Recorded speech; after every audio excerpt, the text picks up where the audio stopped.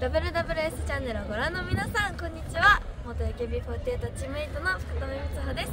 本日は横浜大桟橋ホールで開催されているみなとみらいコレクションにやってまいりました。元 AKB48 グループの先輩方やルリナさん新井美穂さんなどが歩くゲストモデルラーメンからこれからの期待の星となる、えー、モデルさんたちのラーメンなどさまざまな内容なイベントとなっております。私はそんなモデルさん方たちにインタビューさせていただく予定です。人生初のインタビューなので少し緊張していますが頑張ります。それでは早速会場へ入ってみましょう。